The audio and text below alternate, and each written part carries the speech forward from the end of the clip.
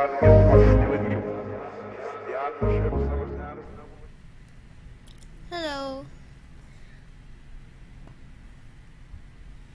So, ngayon naglalaro ako ng run, e-games run online.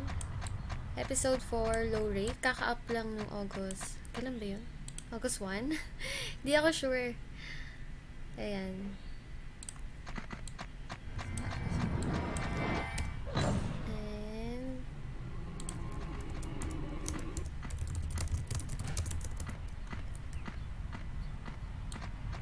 Tingnan nyo naman yung pera ko, 366 na lang. Kakapats.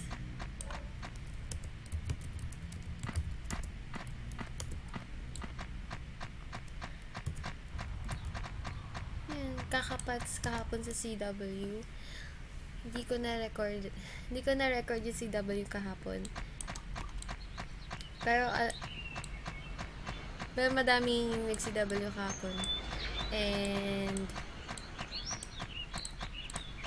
sa Friday, meron ulit CW. Sana makalaro ako and ma-post ko yung video.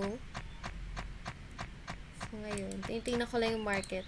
Window shopping kasi wala akong pera. 300k lang pera ko.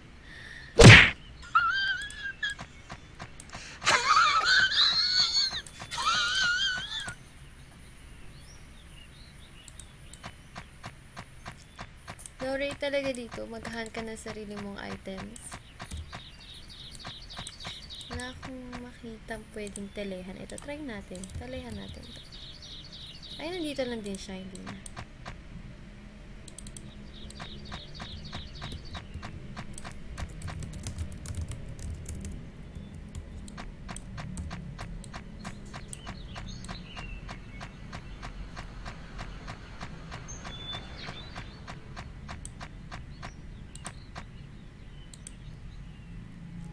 Tingnan natin yung ibang school kung maraming tao.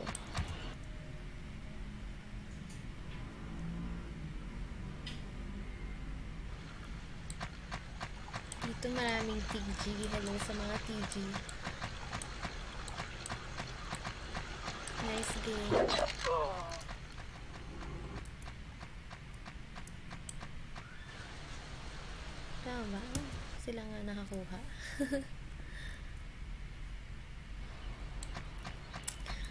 Ito naman tayo sa Phoenix. Dito yung mga Phoenix sa atin. Ngayon natin kung nakatambay din sila dito.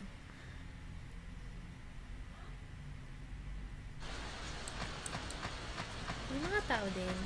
Kunti lang. Paano pala ayusin to? Hindi, pag kinakabitan ko, So,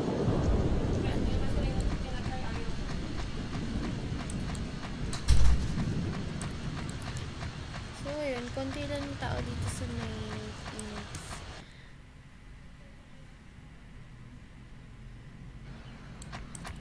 Tanong natin kung may nagpapalit.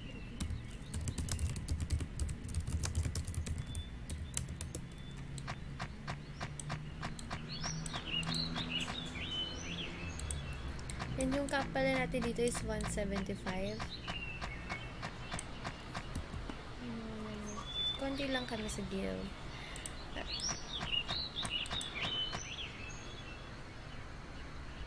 May mga value din yung ibang scrolls. Bali yung scrolls from 1 to 107. 1 talaga. Hanggang 107, nabibili siya sa NPC.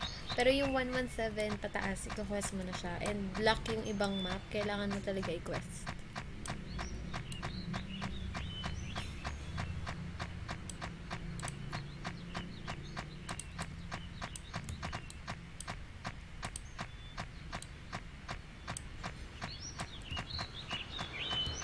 Yan. Mamaya magkakaroon na event pala pa yung GM yun. Eh, meron din pala akong ganyan. Ito, makukuha mo siya sa School Wars. Tapos ito, nakuha ko to sa Suryun. Nagsusuryun kasi dito. Ayan. Yan lang naman laman ng item bank ko. Yung mga binigay na item sa akin dito, yung mga ka-guild ko. Kaso, baka ma-drop kasi lagi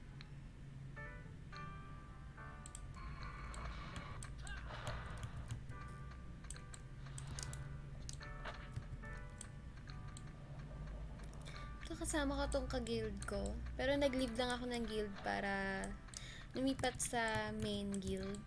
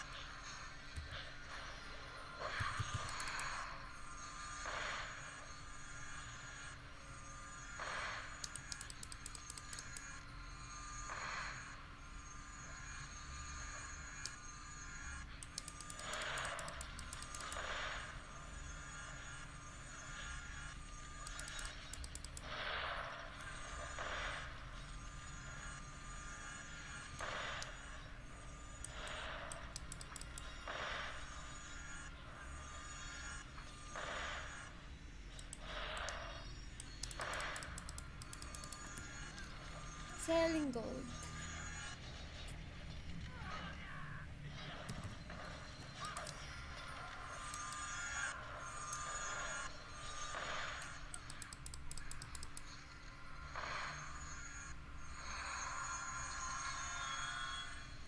Pangit naman ang.